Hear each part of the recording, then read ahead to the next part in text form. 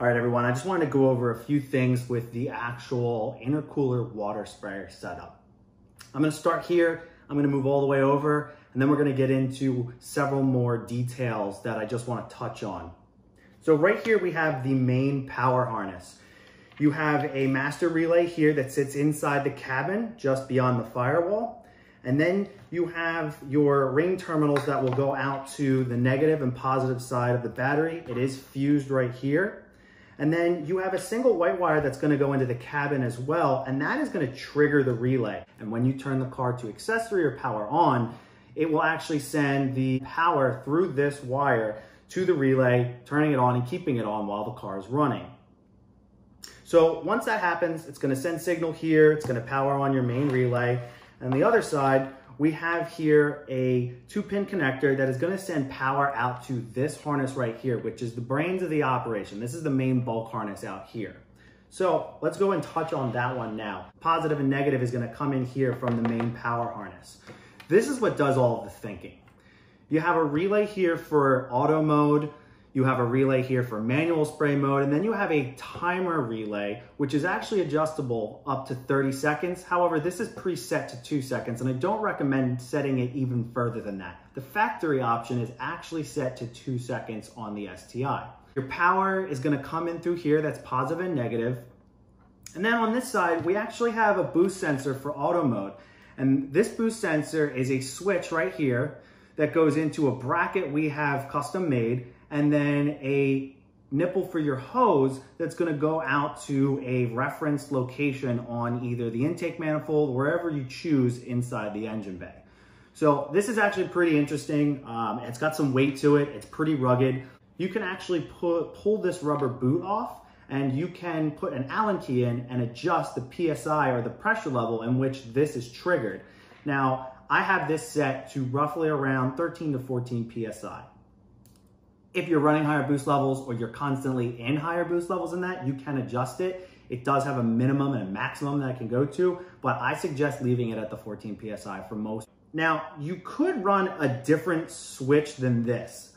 However, this one is tried and true. We've been running this in the two test vehicles, including my own vehicle, and it's been running for, in my own car, I'd say three or four years now, and the two test vehicles, both a year and a half, and it has zero issues. This is good for hundreds and hundreds of thousands of cycles uh, actuating inside there. So we know that it works and we trust it. So this is a really, really nice setup. This one's actually ready to go. Uh, there's some PTFE tape in here, but this would be mounted inside the cabin underneath the dash somewhere. Where that connects on here,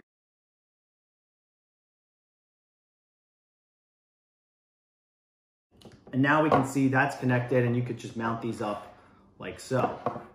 Moving over to where it comes down under the panel to the buttons, you have here connector for a green LED, which will tell you when you're spraying.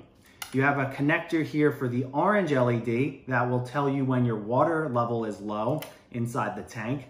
You have your manual spray button the OEM button from Subaru, that's this connector, and then you have a connector for auto mode, which is this connector.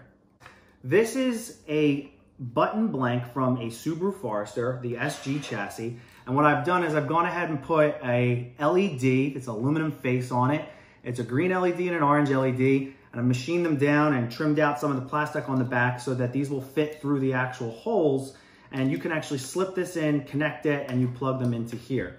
So this is gonna give you your indicator as to when you're actually spraying.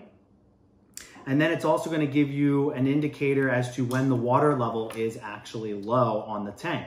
Now when that happens, when the water level gets low, on the OEM Subaru auto mode button, there's an orange light at the top to let you know when you have auto mode turned on or if the tank becomes low and the light goes out on that button. And you can also make it so that an orange LED comes on. So that's generally what this is gonna be set up for, but you can actually set these pins or these wires up to connect to a LED in any area of your car should you want to. You would just have to then wire these to the LED for positive and negative signal. Now on to the longer piece of the harness. So you have a three pin connector here that's going to plug into your main harness right here. This will go back to the OEM pigtail that is on the OEM tank from Subaru that comes in an STI. So this is your four pin connector. It's actually sealed in the back since it's around an area that has water. The male side that connects on this side is actually sealed as well. So this is gonna plug in there and that's going to complete this whole setup. Actually go ahead and plug the power one in right here. Coming to your buttons from the main brains of the operation here, your power supply, you've got your boost pressure sensor for auto mode, and then you've got your harness that's gonna go all the way back to the rear of the car or even in the engine bay and connect to your tank through this connector.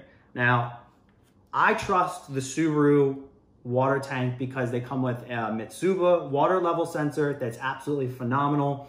And they also come with a pump that's in them that's very similar to a um, windshield washer tank pump. That's what I trust and that's why I use these. That's the whole setup right here and it's just, we've been testing these for a while now, just making sure that they don't burn out. So I'm gonna go ahead and get this connected to a power source so we can see what it does when, it, when it's actually performing. All right, so you can see here that I have my test power supply, which is just a Milwaukee battery and this special adapter here. I have the power and ground alligator clamped and the white wire right here is also clamped to the power so that we can simulate the car being on. Comes in, connects to the main bulk harness right here, the pressure switch is hooked up and then it comes through, goes to the buttons. We have our LED indicators turned on. We also have a Forester button housing that sits to the side of the steering wheel right here. And then we have our auto mode button, which is right here, and we have our manual spray button, which is right here. Now, in the event of running these in a Forester, you have two options. Either you get the GC chassis buttons, which are shorter, because you can see these are a little tall, or you remove the face of the button and you trim along the bottom, which I've done in both my car and another Forester that's running this with a front mount setup. From the main bulk harness, we then have this coming out to the tank, goes around to the tank. And what I've set up here is the actual pump pulled from the tank, as well as the water level sensor. Now this being upside down means that there's water in the tank. If I were to flip this over, you can see that we're now running low water level down here with the orange LED. Fill it up, it's back to normal. Now I'm gonna keep that on its side. If I were to go ahead and spray this manually, we'll see the green light comes on for two seconds. And we're pumping. So there you go. That's manual mode. Now let's see what happens when I engage auto mode. So I push this in and auto mode's now turned on. We have an orange light right here built into the JDM Spec C STI auto spray button. If I were to say, oh, water tank is low, that orange light on the button goes out and the orange light on the LED goes on. We actually can't even spray now in auto mode. We could still spray manually, but you would only want to spray maybe three or four more times from the tank if that's the case.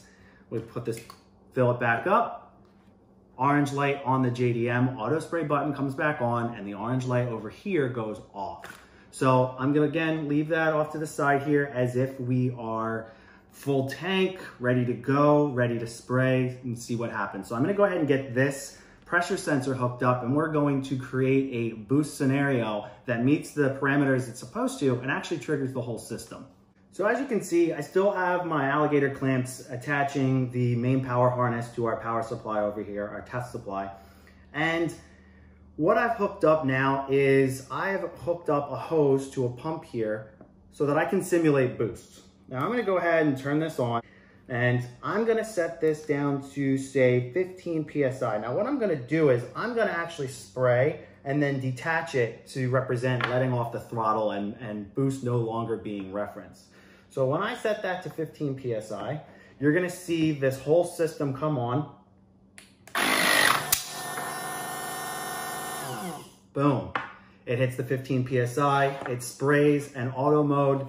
It works like a charm. And again, put this on, off throttle, and there you go. That's how that's all set up.